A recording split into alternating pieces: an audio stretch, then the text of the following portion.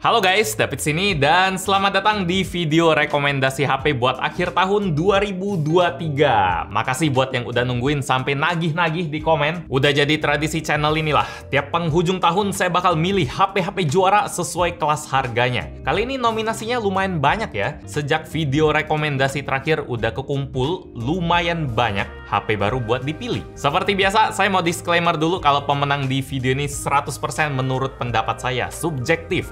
Jawaban saya buat pertanyaan, bro, buat budget sekian, HP apa yang paling mantap? Yang paling bagus? Oleh orang yang nggak saya kenal, tanpa tahu seleranya apa, tanpa tahu butuh HP yang gimana. Yang menang itu jawaban pertama yang langsung saya pikirin lah. Apakah isinya bakal 100% tepat buat semua orang? Ya jelas enggak. Makanya saya butuh bantuan Anda juga buat kasih komen kalau Anda punya jawaban yang beda. Pendapat Anda pasti ngebantu banget. Sama satu tips juga, beli HP bagus nggak harus keluaran yang paling baru ya. Kalau pengen dapetin HP bagus yang harganya udah turun, bisa cek ke video rekomendasi kemarin. Jaraknya baru sekitar 7 bulanan kok. Isinya masih relevan banget, malah ada beberapa yang bisa pertahanin posisi juara. Buat edisi kali ini, juara bertahan. Mirip kayak kopi yang saya minum ini, yang dari dulu selalu juara buat orang Indonesia.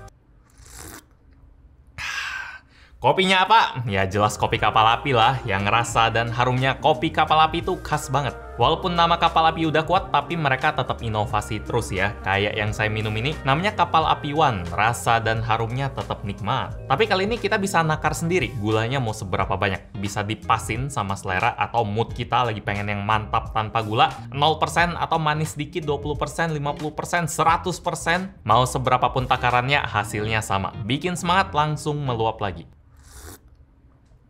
Buat yang pengen cobain juga rasanya nyeduh kapal api One, langsung sikat aja produknya di Indomaret terdekat atau bisa klik link di deskripsi. Sip, sekarang kita mulai dari kategori pertama. Harga 0 rupiah sampai satu setengah juta nggak bisa mulai dari satu juta lagi ya, soalnya kali ini nominasinya ada HP ratusan ribu Itel A70. HP yang aneh, murah tapi bisa bagus loh. Terus ada HP viral si Itel S23, ini yang ngebuka jalan kebrutalan Itel sepanjang 2023, dan terakhir ada Redmi 12C. Ini juara bertahan dari edisi kemarin, yang kali ini harganya makin turun ya. Dulu pas baru launching, kita harus hati-hati milih variannya. Sekarang harganya udah terjun bebas semua, dan dan bikin semua variannya mantap pol. Super recommended. Dulu saya nggak suka varian RAM 4128 ya, karena harganya lawak. 1,8 juta masih micro USB. Sekarang harga pasarannya cuma 1,2 jutaan. Langsung sikat.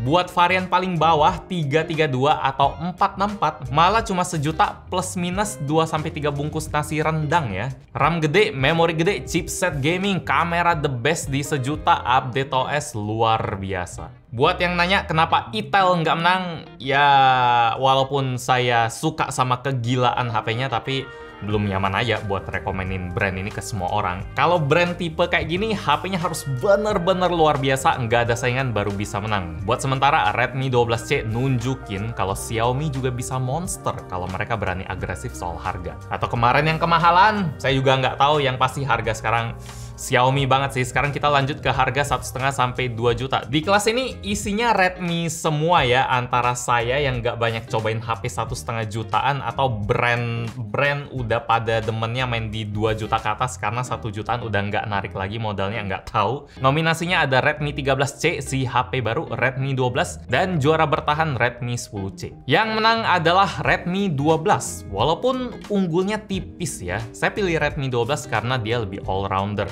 Layarnya lebih terang, lebih berwarna, udah Full HD 90Hz. Punya kamera ultrawide juga, harganya 1,8 jutaan. Lebih nyaman lah dari layar Redmi C. Tapi kemarin Redmi 13C lumayan ngegoda sih. Dia punya NFC, 12 nggak punya, sama memori 256GB di 1,8 juta. Kalau Redmi 12 mau 256GB harus 2 jutaan sih. Jadi menangnya nggak dominan ya, ada plus minus. Kalau mau plus-plus doang ya plus duit lagi ke rentang 2-3 juta. Di sini ada perang besar ya, nominasinya banyak dan serem-serem. Juara bertahan kayak Tecno Pova 4 Pro sama Poco M4 Pro harus kasih jalan ke anak-anak baru yang lebih ganas. Nggak ada pilihan jelek coy, tumben banget harga kayak gini. Isinya ada Itel S23 Plus yang punya layar AMOLED curve, kocak abis. Ada Tecno Pova 5 series yang ngasih desain lebih keren, ada Samsung A05s, HP dari brand gede yang paling mending dibanding Oppo atau Vivo, ada Infinix Note 30 buat 2 juta kecil, dan pemenangnya adalah Infinix Note 30 Pro. Saya geleng-geleng selama nyobain tuh HP. Sekarang juga masih nggak habis pikir, AMOLED 120Hz, bezel layarnya nggak berat sebelah, gaming kenceng, charging juara, support wireless charging. Beh, kameranya bagus, stereo speaker, NFC. Dulu pas HP ini baru launching, dia selalu goib sampai saya kirain Infinix cuma main-main ya, stok dikit aja, bakar duit buat marketing, nggak berani rekomen lah kalau barang kayak gitu yang nggak bisa dibeli dengan bebas. Tapi sekarang pas saya cek nemunya gampang, banyak yang jual, bahkan di harga 2,5 juta. Jauh lebih murah daripada harga launching di 2,9. Tambah worth it lagi. Lanjut ke kelas 3 sampai 4 juta. Juara bertahan ada Poco M4 Pro.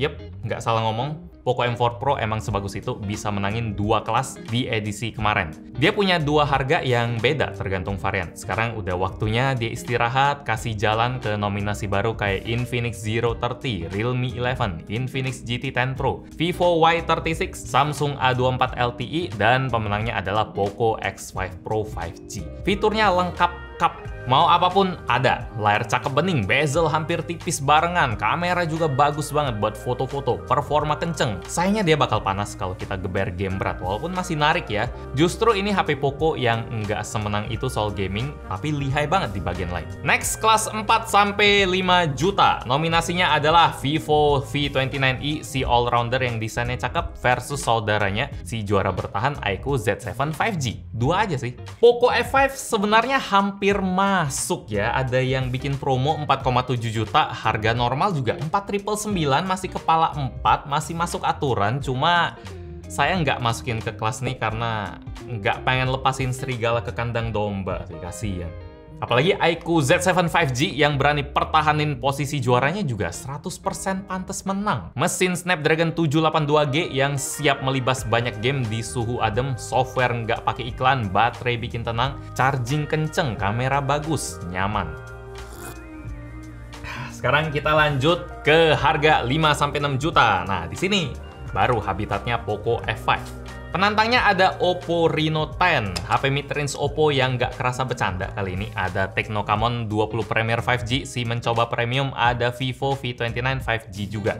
Yep, Vivo V29 5G yang awalnya dijual 6 juta, sekarang udah banting harga ke 5,1 juta.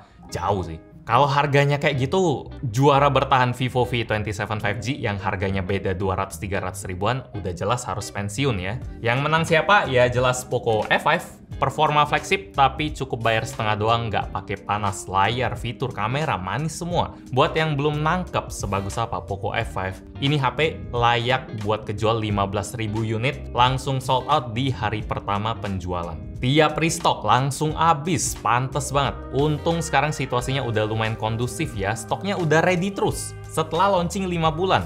Puh, Buat yang nggak mau HP Poco, silahkan pilih Vivo V29 yang kerasa lebih aman ya. Itu salah satu HP favorit juga waktu dia launching di harga 6 juta. Sampai saya kasih judul calon rekomendasi. Sayangnya, pas beneran udah waktunya bikin video rekomendasi, nasibnya terkatung-katung. Barangnya tetap bagus, desain seksi, kamera bagus, tapi dia dihajar depan belakang oleh Poco F5 di 5 juta dan Xiaomi 13T yang menang di kelas 6 jutaan. Ini menang mudah banget. Lawannya siapa sih? Realme 11 Pro Plus ya gampang lah. Juara bertahan Samsung Galaxy A73, wah itu udah waktunya istirahat. Di Xiaomi 13T kita bisa ngerasain kalau Xiaomi abis-abisan setelah sepanjang tahun ya ngelucu, ngelawak, nge ya gitu lah. Lihat seri Note 12. Mungkin HP ini yang bikin stok Poco F5 bisa lebih aman. Ada godaan yang lebih mantap lah, desain yang lebih premium, fitur yang lebih lengkap, tahan air lagi, performa boleh diadu, semua boleh diadu. Ada yang berani nggak? Apalagi kalau udah ngomongin kamera Leica-nya yang udah nutupin kelemahan klasiknya Xiaomi. Garansi 2 tahun, update software 4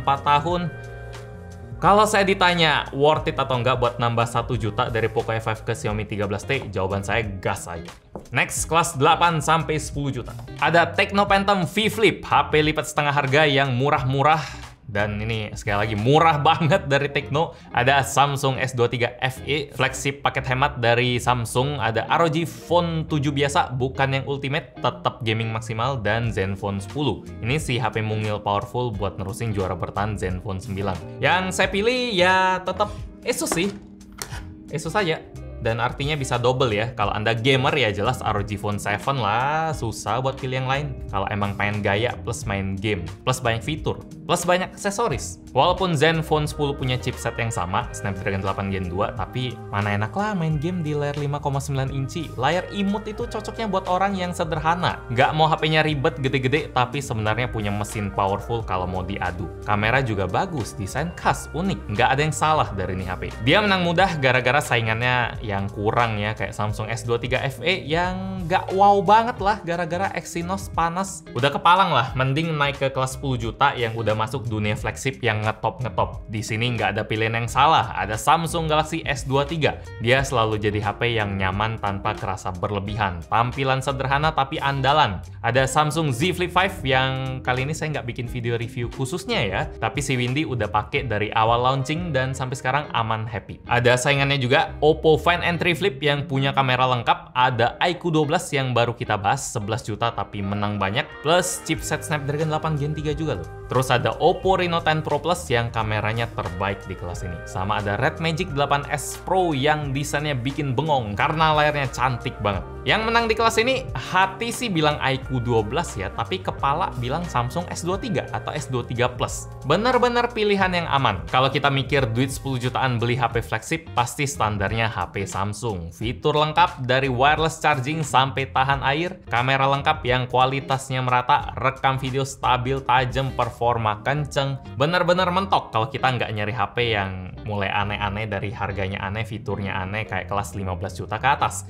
Kayak biasa di kelas ini saya udah nggak bisa banyak komen lagi ya. Anda punya 15 juta lebih buat beli HP cash? Ya selamat. Silakan pilih aja, tuan, nyonya. Ada iPhone 15, iPhone 15 Pro si Titanium, Samsung Galaxy Z Fold 5, sama Oppo Find N3. Saya pribadi pakai Find N3 buat daily driver ya, tapi Samsung Z Fold 5 pun masih ada bagusnya, ada uniknya sendiri. Soal iPhone, ya main-main ke tokonya lah. Anda pasti udah menetapkan hati buat pilih iPhone, jadi video ini Uh, nggak segitunya sih. Langsung cobain aja, rasain bagusnya gimana, seberapa mewah feel titanium yang selalu diiklanin Apple. Kalau udah nentuin itu mau ngomong apa pun udah nggak bisa dibelokin lah. Sikat, sesuaiin sama selera kebutuhan sendiri lah. Demikian video rekomendasi buat akhir 2023. Kali ini lumayan banyak Xiaomi sih. Bukti kalau mereka lagi nggak bercanda bisa kasih HP bagus. Cuma dua tahun ke belakang emang berasa lemes sih. Kali ini kayaknya balik lagi. Semoga ngebantu Anda milih HP atau sekedar buat seru-seruan aja acara akhir tahun. Um, banyak yang sama atau enggak pendapatnya bisa komen di bawah. Atau bisa like aja kalau suka, dislike kalau nggak suka sama video ini. Dan kita ketemu lagi di video selanjutnya. Yo.